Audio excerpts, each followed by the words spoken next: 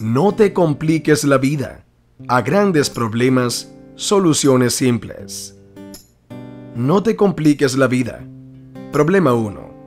Cuando la NASA comenzó con el lanzamiento de astronautas al espacio, descubrieron que los bolígrafos no funcionarían sin gravedad o con gravedad cero, pues la tinta no bajaría hasta la superficie en que se deseara escribir.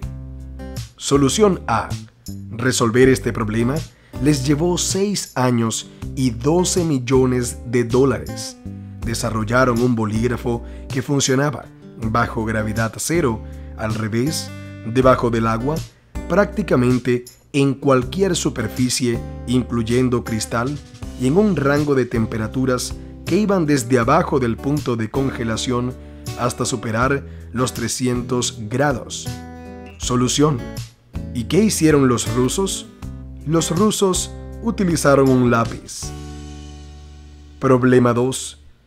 Uno de los más memorables casos de estudio de la gestión japonesa fue el caso de la caja de jabón vacía, que ocurrió en una de las más grandes empresas de productos en Japón.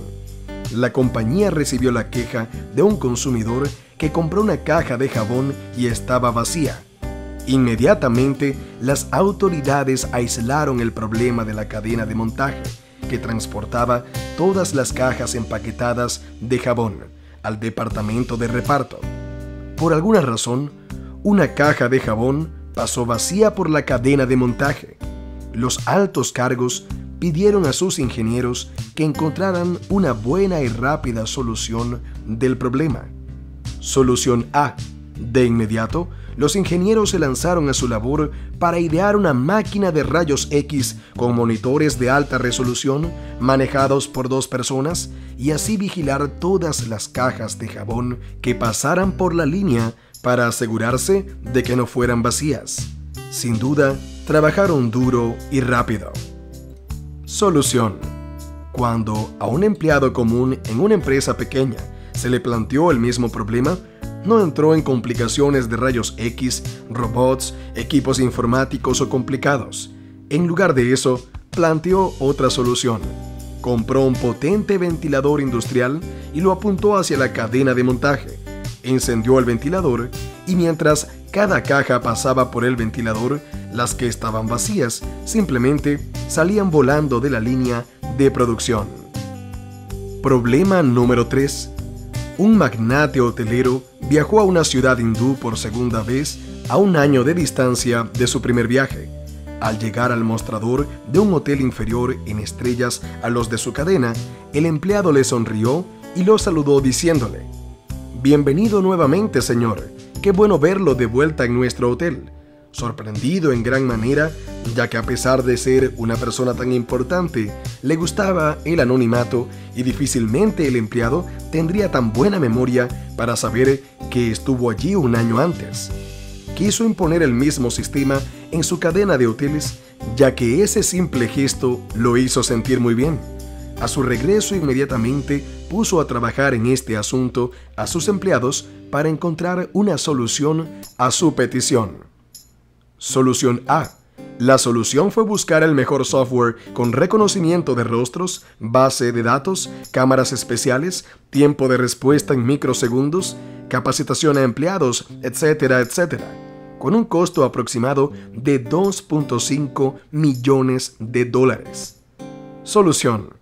El magnate prefirió viajar nuevamente y sobornar al empleado de aquel hotel para que le revelara la tecnología que aplicaban el empleado no aceptó soborno alguno, sino que humildemente comentó al magnate cómo lo hacían.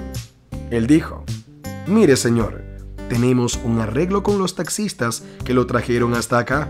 Ellos le preguntarán si ya se ha hospedado en el hotel al cual lo estaban trayendo y si es afirmativo, entonces cuando él deja su equipaje aquí en el mostrador, nos hace una señal y así se gana un dólar. Moraleja. No te compliques. Concibe la solución más simple al problema. Aprende a centrarte en las soluciones y no en los problemas. Siempre positivo, nunca negativo. El hijo que muchas veces no limpia su cuarto y se la pasa viendo televisión significa que está en casa. El desorden que tengo que limpiar después de una fiesta significa que estuvimos rodeados de familiares o amigos. Las ropas que están apretadas significan que tengo más que suficiente para comer. El trabajo que tengo en limpiar la casa significa que tengo una casa. No encuentro estacionamiento. Significa que tengo coche. Los ruidos de la ciudad significan que puedo oír. El cansancio al final del día significa que puedo trabajar. El despertador que escucho todas las mañanas significa que estoy vivo. Finalmente, por los comentarios que recibo, significa que tengo personas agradecidas en mi canal. Cuando pienses que en la vida te va mal, escucha otra vez este mensaje. La importancia de ser agradecido. Ser agradecido es esencial para apreciar y disfrutar plenamente la vida. Agradecer lo que somos, lo que hemos conseguido, lo que tenemos, las personas que nos rodean, etc nos hace vivir en armonía con nuestro entorno y con un alto grado de bienestar.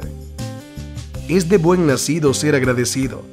Muchas veces nos olvidamos de este dicho popular que es una gran verdad.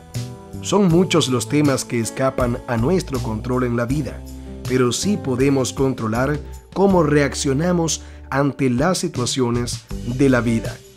Nuestra mente es bombardeada continuamente con multitud de información, razón por la cual tiene que filtrar todo lo que no está buscando activamente.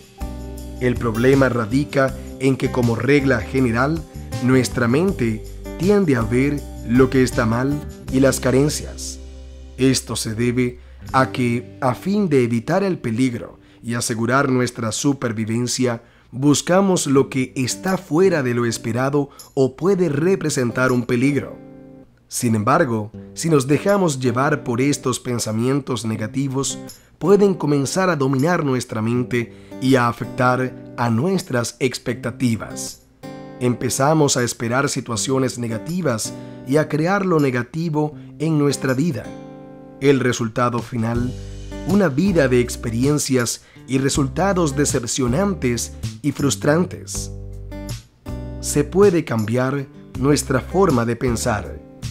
Pese a todo lo dicho anteriormente, podemos detener la tendencia negativa natural de nuestra mente mediante la reorientación hacia la abundancia y lo que es positivamente posible, centrándonos en aquello de lo que estamos agradecidos. Con este cambio de visión, casi al instante, tu vida puede cambiar su trayectoria. Tu mundo puede revolucionarse y todo lo que puedes crear en él. De esta forma nos vamos a sentir mucho mejor siendo agradecidos incluso cuando las cosas no van del todo bien y cuando surgen conflictos o problemas. ¿Qué visión tienes acerca de tu propia vida? ¿Eres capaz de valorar aquellas cosas positivas que tienes? ¿En qué aspecto te concentras al ver tu propia existencia? A continuación te presentamos algunos puntos que pueden servir para estimular tu reflexión y ayudarte a cambiar la perspectiva que hasta ahora tienes. Abre los ojos al mundo.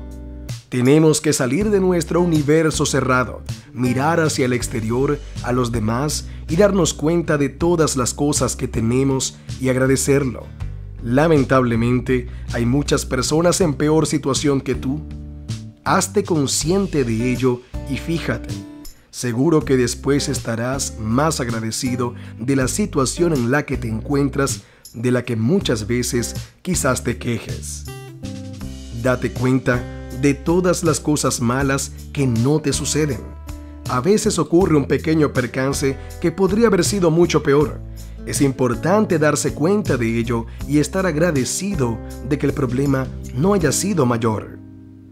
Presta atención a las cosas buenas que sí te ocurren. Muchas veces vivimos la vida sin prestar atención a las pequeñas buenas cosas que nos suceden porque las más espectaculares son más evidentes y llaman más la atención. Sin embargo, si piensas un poco, verás la cantidad de cosas positivas que hay en tu vida. Es fundamental reeducarnos para aprender a pensar en positivo y ver todo lo bueno que vivimos cada día. Aprende a ser agradecido practicándolo. Todo puede ser aprendido y la capacidad de experimentar el agradecimiento es una parte de tu carácter que siempre puede mejorarse si lo practicas. Existen diferentes formas de hacerlo, como por ejemplo escribir cada día en un diario de gratitud, tal como recomienda Martin Seligman. Rodéate de personas con una actitud positiva y agradecida las actitudes negativas y pesimistas se contagian rápidamente. Por eso es importante que aquellos que nos acompañen en la vida tengan una visión optimista. También podemos nosotros mismos ayudar a otros a ver todo lo bueno que tienen en sus vidas. Decide no ser la víctima. En momentos difíciles o cuando pierdes a alguien, es muy importante ser agradecido con lo que todavía tienes y por las oportunidades que aún se te presentan. Se trata de no enfocarse solo en lo que consideramos malo y buscar lo positivo de cada situación, porque siempre hay algo favorable, aunque en un principio nos cueste describirlo. Intenta ser agradecido y cambia tu vida. Ser agradecido es una cualidad que todos admiramos en el carácter de los demás, ¿verdad? Para ello no hay razones ni excusas, tampoco hay edades. Nunca eres demasiado viejo como para intentar ser positivo y valorar todo lo maravilloso que tienes. Inténtalo. Verás que puedes empezar poco a poco a sentirte agradecido por las pequeñas cosas que te ocurren. Muchas gracias. Así sea. De Albert Lennon, ANC Productions.